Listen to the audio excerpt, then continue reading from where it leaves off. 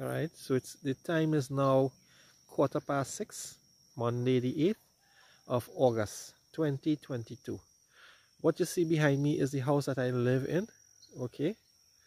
And this view was not open like this before. They actually um, some guys came and they cleared out this area. So now as this area is cleared i have a better view of the burial ground. Now this burial ground right now is actually overgrown with grass. You'll notice my nose is clogged up again. It's a normal thing.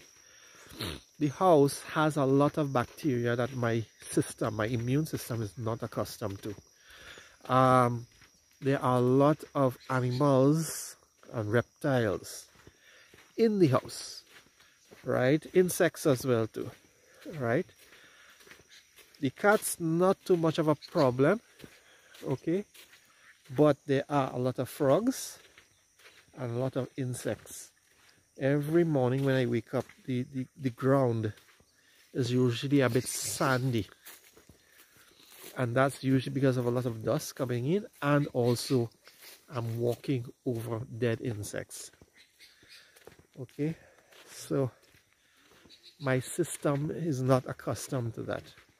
And that's why in the morning time especially and sometimes at night I have a problem breathing at night as well too.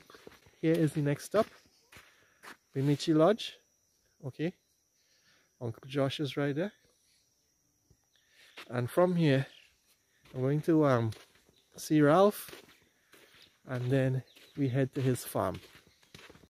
So Ralph is getting ready as well too. His name is Ralph Ferreira. Okay. Um, he is a farmer and today we are going to see his farm where he has peppers for sale. A lot of peppers. He has about an acre of land and he wants me to assist him in promoting the peppers to get sale for him. So that's where we're going today. Um, it is a nice little walk from here it's probably about a mile and a half probably. When we reach there we'll see what it's like. It's a jaguar and thing in the back here They've got one one. We got enough plenty there and because we used to destroy my crops there and plenty balls like Manapa, mm -hmm. What about Akuri and Laba? Plenty. Plenty? Yeah. Plenty destroying the crops. I already shoot two there in the farm. Mm-hmm. And what do you do with the meat? Well, we sell some and eat some. Good meat, man, deer meat. Mm-hmm. Tastes nice with fruit. Yeah, deer meat. Now, Ralph was taking me a little off track here. And what happened was that a few days before, a lightning bolt struck very, very close to him and his son and he's taking me to an area where the thunderbolt, all its struck a couple, uh, maybe about 50 or 60 feet away, it cut a path in the forest as well too.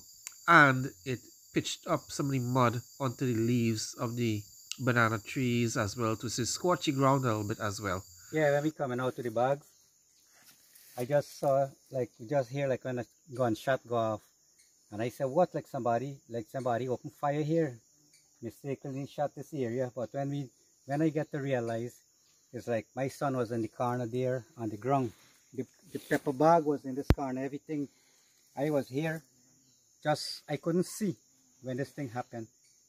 Just watching blue flames and I couldn't hear because it, the, the song left me and then the, light, the brightness of the, the, um, the light blind my eyes. I couldn't see further we had to stay like anything like about half hour before we had to move because my son his foot get weak and we just left a, we just left with a shock. We take about half hour before we leave to start walk out the road.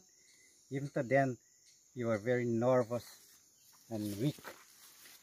So we take the time and walk out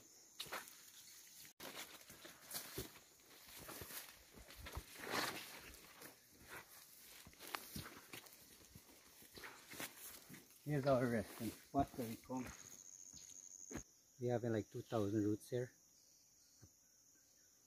the big hot pepper. And um, actually when we reap, we reap like um, two, 200 pounds like every, every week.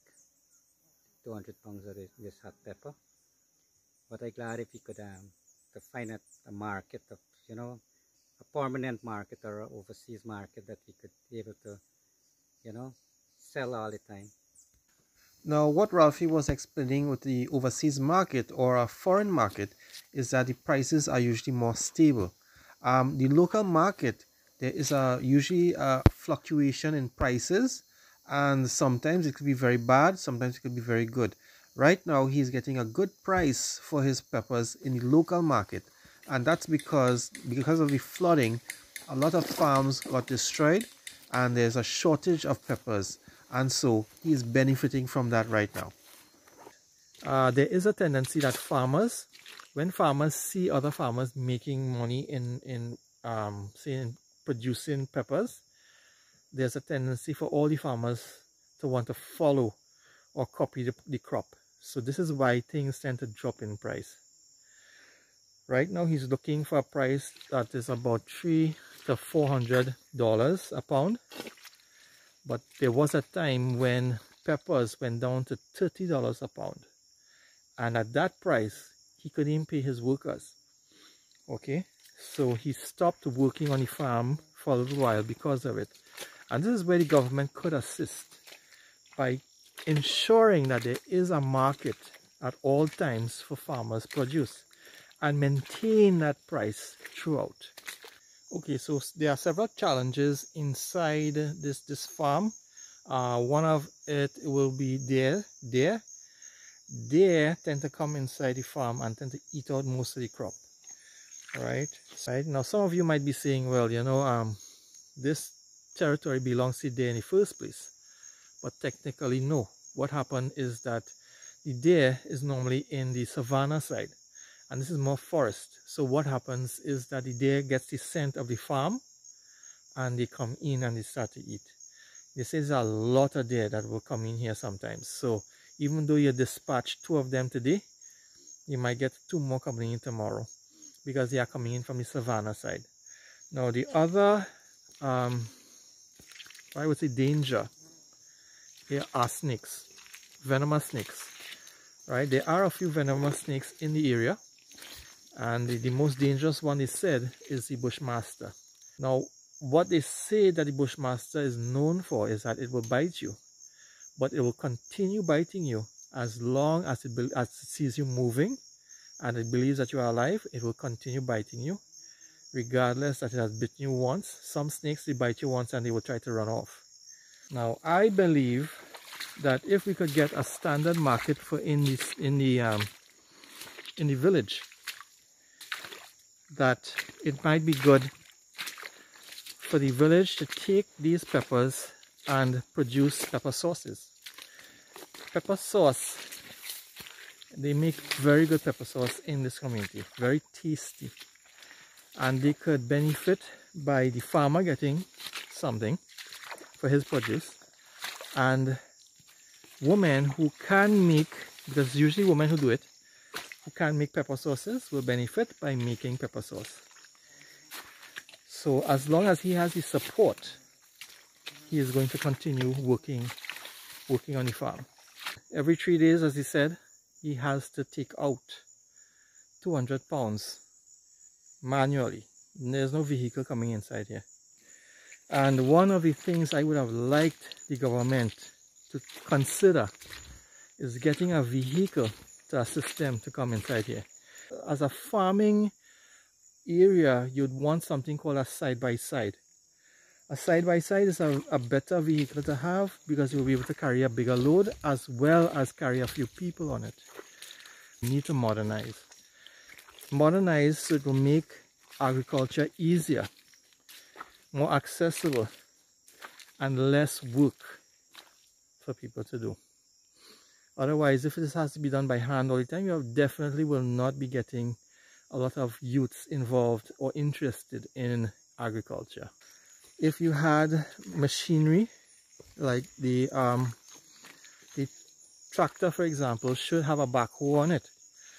a bucket some people call it a bucket so that they could pull out stumps from the land and prepare the land properly where when it's time to plant they just pass the tractor in and within maybe 15 minutes to half an hour they have that that entire area prepared and ready for produce Indigenous Guyana is designed to bridge the gap between modern society and indigenous culture.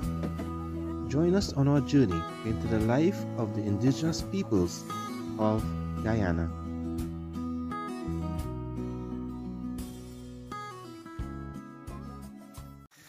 Guys you see the kind of